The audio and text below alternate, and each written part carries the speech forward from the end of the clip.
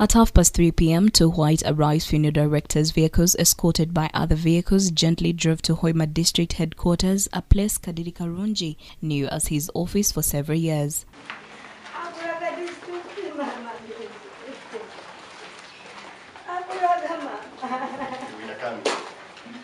Several mourners could not control their emotions upon the sight of two bodies of the late Hoima district chairperson and his bodyguard Bosco Otim, who perished in a head-on collision last night. Appreciate his great and wonderful contribution to the development of this district. The body was received and taken into the council hall for a special council sitting. Here, the speaker announced the tragedy news to the council and described the late Kadiri as a statesman, peacemaker, loving man, and a mentor who helped many to get into politics. And the country at large have lost a statesman, gallant, peacemaker, and developmental leader, whom we shall always live to remember. He had the spirit of oneness and working together. He appointed me the Secretary for Education, which is very not common with most of the political leaders who want to revenge them. Chairman Kadiri was an exceptional leader. He is the only chairperson I've worked with who, who would delegate a lay councillor who is not on the executive to represent him. Benson Chiche, the vice chairperson, emotionally tabled a sad notion to pay tribute to Kadiri, who perished in an accident at 9 p.m. heading to Kampala. Honorable Kirungi Kadiri shall be remembered for his very distinguished service in this council, right from 2001 when he represented the youth in the Hoima District Council. The motion was seconded by female workers councillor Helen Mulumba and other councillors. Jackson Mulindambula eulogized the late as a person who did positive reporting while he was still an active media practitioner. Honorable Kadiri was tolerant, a tolerant leader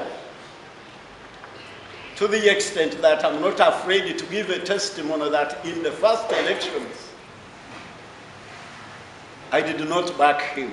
Byaruhanga proposed to the council that they should name the road heading to the new Hoima district headquarters, Birunji, as remembrance for the fallen chairperson. That small road heading to that new headquarters, we named it Kadi Road as a way of remembering our honorable King Kadi. So very many Ugandans have faced, have died, but we have forgotten them forever. So I'm just proposing, what I members, members of this, of this council, that support this idea. Other councillors have faulted traffic officers for not doing well in their enforcement role. They have called on the government to consider widening the Hoima Kampala road because it's too narrow for two-way traffic. This summer, you will see a traffic officer, somebody has overloaded, somebody is actually not following his own, the, the, the rules, but you see him trying to, do, to, to negotiate. The road has done more harm than good to the people of this region. It will take this council time to settle because of the loss of our dear chairperson. Badru Mugabi, the Hoima resident city commissioner, says Kadri was obedient. He urged young people in active politics to emulate him and engage in peaceful politics. But he was humble. He was obedient. He loved togetherness. And he never ever crossed boundaries, even when he had the authority to. And it should be a lesson we should learn from him. Amlan Tumsime, the Chikube district RDC and the brother to the late, noted that the family has lost a hard-working man who fought for the common man. A very humble man. Kadita sa kubaza naye kukura mu kyagoza takozero hati. Ekimanya mbe ni Kadiri will be buried at his ancestral home in Buswekera, South Cell, Hoima West City Division, Hoima Oil City tomorrow Sunday. President Museveni has sent a condolence of 20 million shillings to the family. Report compiled by Ambrose Niwagabakatoto for the news.